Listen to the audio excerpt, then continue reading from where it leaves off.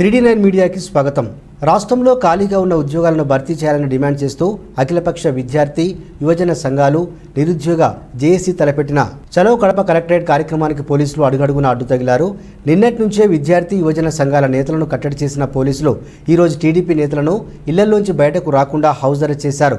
చలో కలెక్టరేట్ కార్యక్రమానికి బయలుదేరిన పశ్చిమ రాయలసీమ పట్టభద్రుల టీడీపీ ఎమ్మెల్సీ అభ్యర్థి రాంగోపాల్ రెడ్డిని పోలీసులు బలవంతంగా దౌర్జన్యంగా అరెస్ట్ చేశారు. ఈ సందర్భంగా పోలీసులకు రామ్గోపాల్ రెడ్డికి మధ్య తీవ్ర వాగ్వాదం జరిగింది. కడప అసెంబ్లీ నియోజకవర్గ టీడీపీ ఇన్ఛార్జ్ అమీర్ బాబ్ను టీడీపీ జిల్లా అధ్యక్షులు లింగారెడ్డిని పోలీసులు హౌస్ అరెస్ట్ చేశారు. నువ్వు ఏందో నువ్వు? ఎందుకు లాగుతారు? నువ్వు లాగితే నువ్వు లాగినట్టున్నావు నువ్వు లాగినావు.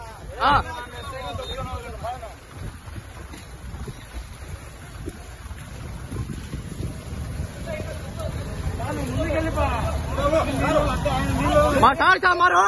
సార్ నొద్దాను ఎందుకు పట్టుకుంటావు ఎందుకు పట్టుకుంటావు? ఆ.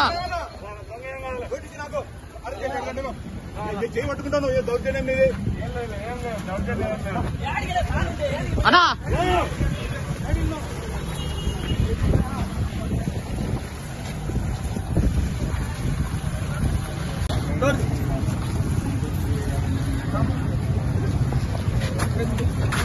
కూర్చోండి పట్టుకోండి అన్న అన్న మీరు ఒక చెయ్యి చెయ్యి పట్టుకోండి అన్న చెయ్యి చెయ్యి పట్టుకోండి చెయ్యి చెయ్యి పట్టుకోండి రండి పది మంది రండి రండి